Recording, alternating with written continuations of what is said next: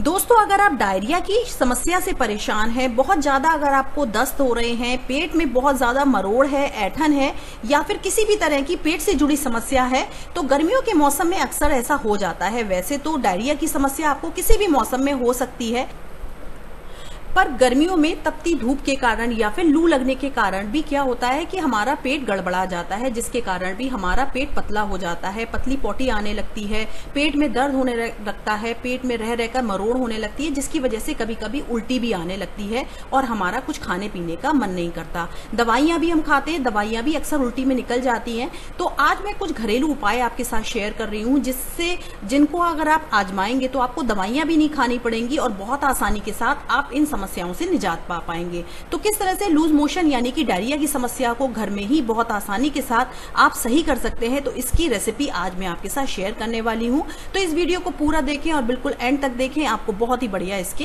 Result मिलेंगे। तो चलिए शुरू करते हैं। तो फ्रेंड्स पहली होम रेमेडी को तैयार करने के लिए यहाँ पर हमें चाहिए होगी चाय की पत्ती। चाय की पत्ती सभी के किचन में इजिली अवेलेबल है, कोई भी ले सकता है, कभी भी आप इसको बना सकते हैं। जैसे रात में भी अगर आपको दस्त की प्रॉब्लम हो जाती है, बच्चों को हो जाती है, बड़ों को हो जाती है, बुज़ुर्गों को हो जाती है तो बच्चे, बड़े बुज़ुर्ग सभी ले सकते हैं इस रेमेडी को। तो पाँच साल से बड़े उम्र के बच्चे ले सकते हैं, उससे छोटे उम्र के बच्चों को आप कोई भी रेमेडी ना दें। उसके लिए आप सीधे डॉक्टर को ही दिखाएँ। तो यहाँ पर जो रेमेडी मैं आपके साथ शेयर कर रही हूँ, इसके लिए आपको चाय की पत्ती लेनी है। आप किसी भी ब्रांड की जो भी आप घर में यूज़ करते हो, चाय की पत्ती ले ले। साथ ही हमें लेना होगा एक ग्लास के करीब पानी, एक मग पानी या फिर एक ग्लास के करीब पानी ले लीजिए। और आपको क्या करना होगा, लगभग एक चम्मच के करीब चाय की पत्ती लेनी होगी और इस चाय की पत्ती को आप इस तरह से एक ग्लास पानी में डालकर लगभग पाँच मिनट के लिए छोड़ दीजिए। तो पाँच मिनट के लिए मैंने इसको इसी तरह से छोड़ दिया था। अब इसके बाद में हम क्या करेंगे? इस तरह से एक बर्तन में आप पूरे इसको ट्रांसफ़र कर लें। इस तरह से चाय की पत्ती और पानी को हम इसमें डाल देंगे। ये नीचे इस तरह से बैठ जाती है तो इसको इस तरह से घुमा घुमा कर पूरा की पूरा बर्तन में डाल दीजिए।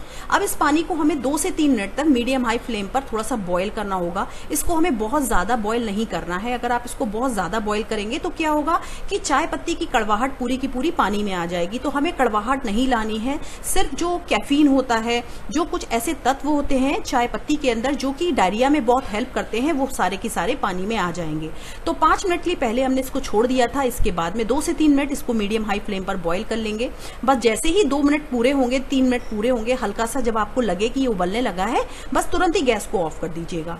आप चाहें तो इसमें आप थोड़ी सी चीनी भी मिला सकते हैं, मिठास के लिए चीनी भी मिला सकते हैं, क्योंकि बहुत सारे लोग नहीं पी पाते, उनको थोड़ा सा टेस्ट चाहिए तो आप इसमें चीनी, गुड़, खांड या फिर आप इसमें कोई भी जो भी मीठा आप डालना चाहें, वो आप डाल सकते हैं।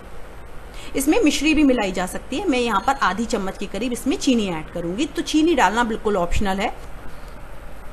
अगर आप कोई मीठे के बगैर इसको ना पी पाए, तभी आप इसमें चीनी ऐड करें, या फिर अगर आप इसको बिना चीनी के पिए, बिना कुछ भी मीठा डाले पिएँगे ना तो आपको इसके बेस्ट रिजल्ट्स मिलेंगे।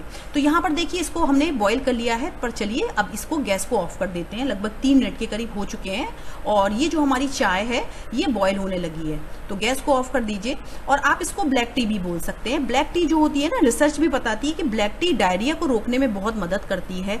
जब हमारा स्टमक अपसेट हो जाता है ना, जैसे अगर हमें वॉमिटिंग वगैरह होने लगती है तो उस केस में जो कैफीन होता है ब्लैक टी के अंदर, वो बहुत हेल्प करता है। लेकिन इस चाय को हमें मॉडरेशन में पीना चाहिए। यानी कि ऐसा नहीं है कि इसको चार से पाँच बार आप पी लें। लगभग दिन में दो से तीन बार ही मैक्सिमम आप इसको पी लीजिए और आपको डायरिया में बहुत ज़्यादा हेल्प मिलेगी।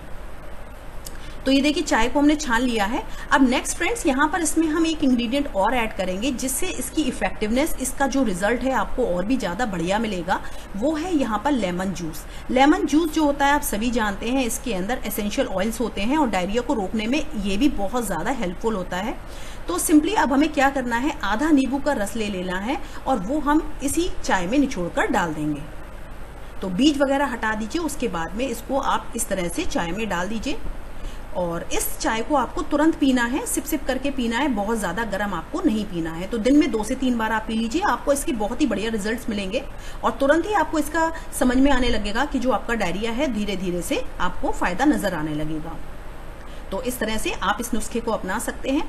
इसके बाद मैं आपके साथ एक रेमेडी और शेयर कर रही हूँ बातों बातों में। ये देखिए, नींबू निचुड़ रहा है। इसी के साथ साथ मैं आपको बता दूँ सिंपली अगर आप इस काढ़े को नहीं बना पा रहे हैं ब्लैक टी नहीं बना पा रहे हैं, किसी भी कारण से नहीं पी पा रहे हैं, कोई भी कारण है, वैसे तो ये बहुत ज़्यादा इफ़ेक्टिव है। अगर आप इसको पी लेंगे, आपको बहुत ही अच्छा रहेगा और आपका पेट बहुत जल्दी सही होगा।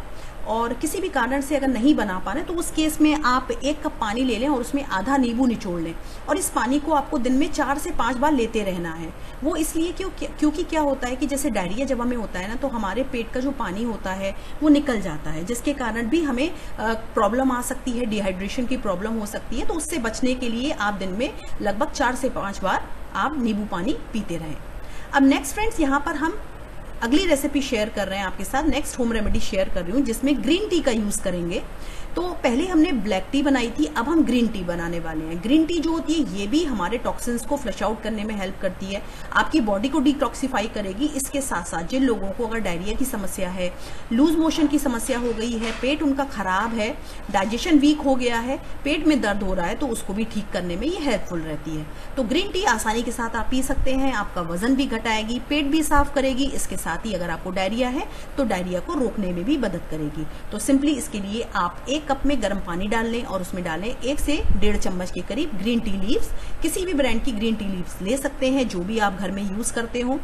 और इस तरह से इसको पाँच मिनट छोड़ दीजिए, इसके बाद में आप इसको सिप सिप करके पी सकते हैं। तो ग्रीन टी को भी आप दिन में दो से तीन बार ले लीजिए। इसके साथ ही आपको अपनी डाइट का भी ध्यान रखना होगा, जैसे दिन में खूब पानी पीते रहें, नींबू पानी पीते रहें। इसके साथ ही डाइट में आप दलिया खा सकते हैं ओट्स ले सकते हैं, खिचड़ी ले सकते हैं। इस तरह का हल्का खाना आपको खाना है। रोटी वगैरह है, भारी खाना है, पूरी पराठे, ये सब आपको कुछ भी नहीं खाना है। इस बात का ध्यान रखें। और केला अपनी डाइट में ज़रूर शामिल करें। ये आपके मल को बांधने में बहुत हेल्प करता है। बहुत अच्छा होता है ये डायरिया के लिए। बच्चों को भी दे सकते हैं, बड़े भी ले सकते हैं। इसके साथ ही एक बात और मैं आपको बता देती हूँ लास्ट में कि अगर आप दो दिन तक किसी भी होम रेमेडी को अपनाते हैं, मेरी होम रेमेडी हो या फिर किसी और की हो, और फिर भी अगर आपको आराम नहीं मिल रहा है डायरिया में लूज मोशन में तो उस केस में आप तुरंत ही तीसरे दिन डॉक्टर को दिखा लें। ये बहुत अच्छा रहता है। तो आज की होम रेमेडी आपको कैसी लगी, लिखकर ज़रूर बताइएगा, अपनाइएगा, फिर मुझे बताइएगा कि आपको रिज़ल्ट कैसे मिले। Thank you so much for watching